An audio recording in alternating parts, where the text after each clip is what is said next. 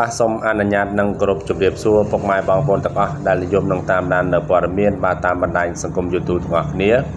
បាទគណៈពេលណាខ្ញុំលើកយកអត្ថបទនឹងព័ត៌មានបាទថ្មីមួយមកជម្រាបជូនដែលមានចំណងជើងថាដំណឹងល្អមិនយកពន្ធដីកសិកម្ម100ឆ្នាំតទៅមុខទៀតប្រសម្រាប់ព្រៃរដ្ឋាភិបាលកម្ពុជាដឹកនាំដោយ CPP បាទមុនចូលទស្សនានិងតាមដាននៅព័ត៌មានបាទសូមប្រិមិត្តពុកម៉ែបងប្អូនទាំងអស់កុំភ្លេចបាទជួយ like Subscribe និង Share និងសញ្ញារូបកណ្ដឹងដើម្បីទទួលបាននូវព័ត៌មានថ្មីថ្មីជារៀងរាល់ថ្ងៃបាទដំណឹងល្អមិនយកពន្ធដីកសិកម្ម100ឆ្នាំតទៅមុខទៀតសម្រាប់រាជរដ្ឋាភិបាលកម្ពុជា ដឹកនាំដោយ CPP នាព្រឹកថ្ងៃទី26ខែកុម្ភៈឆ្នាំ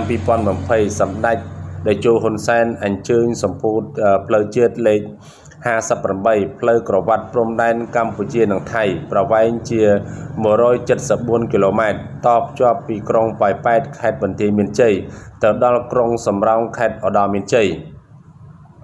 សម្ដេចតេជោហ៊ុនសែនបានថ្លែងថាគណៈបព្វជិជនដឹកនាំ100ឆ្នាំទៀតក៏មិនយកពន្ធលើដីស្រែនោះឡើយ គូបញ្ជាក់ផងដែរថាក្នុងពិធីសម្ពោធដាក់ឲ្យប្រើប្រាស់ជាផ្លូវជាតិលេខ58សម្ដេចនាយករដ្ឋមន្ត្រីថ្លែងថាទន្ទឹមនឹងនេះ កម្ពុជានឹងបញ្ជូនយន្តហោះទៅដឹកសាច់ក្រណាត់ពីចិនដែរសម្ដេចបានអះអាងថាកម្ពុជាដឹក